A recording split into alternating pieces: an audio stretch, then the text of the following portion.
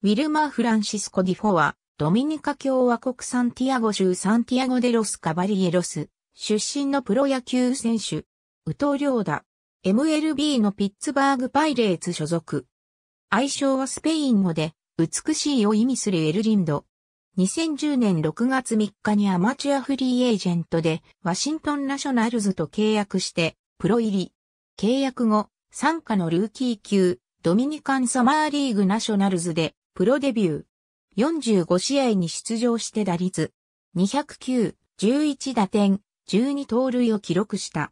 2011年は、ルーキー級、ドミニカンサマーリーグで開幕を迎え、39試合に出場。7月に渡米し、ルーキー級、ガルフコーストリーグナショナルズでプレー。25試合に出場して打率。273、8打点、5盗塁を記録した。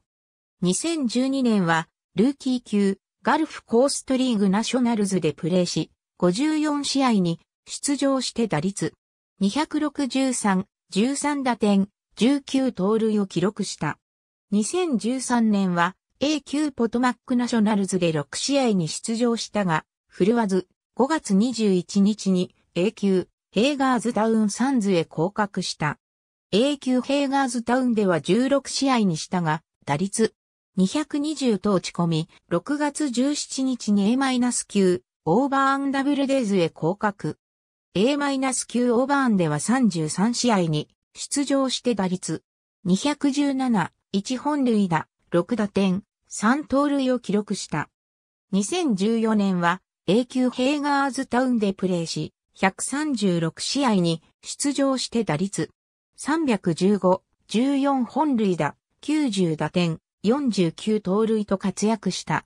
シーズン中にサウスアトランティックリーグのオールスターゲームに選出され、8月には同リーグの最優秀選手とポストシーズンオールスターチームに選出。その後もベースボールアメリカ誌による A 級オールスターチームやマイナーリーグが選出するナショナルズ、傘下所属選手によるオールスターチームに選出されるなど数々のタイトルを獲得した。オフの11月20日にナショナルズとメジャー契約を結んで40人枠入りした。2015年はスプリングトレーニング中のプレシーズンゲームで13試合に出場して打率318と活躍。3月19日に A 級ポトマックへ移動し、そのまま開幕を迎えた。A 級ポトマックでは19試合の出場で打率320と活躍し、4月20日に AA 級ハリスバーグセネターズへ昇格した。AA 級ハリスバーグでも14試合の出場で打率308を記録し、5月19日にメジャーへ初昇格した。同日のニューヨークヤンキース戦でメジャーデビュー。7回裏に代打として起用され、デビッド・カーペンターから中堅へのメジャー初安打を記録した。昇格後は代打要員として5試合に出場したが、安打を放ったのはこの試合のみで、6月4日に AA 級ハリスバーグへ降格した。6月28日に行われたフィラデルフィアフィリーズとのダブルヘッダーに合わせて昇格されたが、1打数無安打1三振に終わり、6月29日に再び AA 級ハリスバーグへ降格。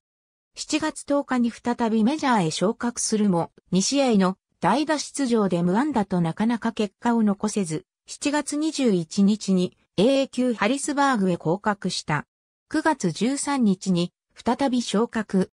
10月3日のニューヨークメッツ戦では自身初の先発起用となる8番二塁手で出場し、メジャーに安打目をようやく記録した。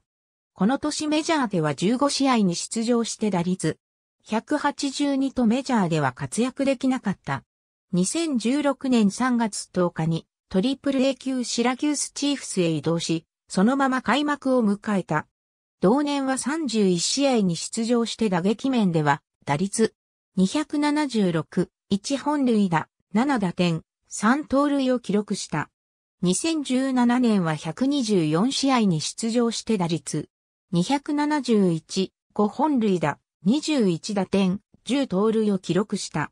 2018年は148試合に出場して、打率237本塁打、42打点、10盗塁を記録した。2019年は43試合に出場して打率252、2本塁打、8打点を記録した。2020年9月5日に DFA となり、9月7日にマイナー契約となった。レギュラーシーズン終了後の10月13日に FA となった。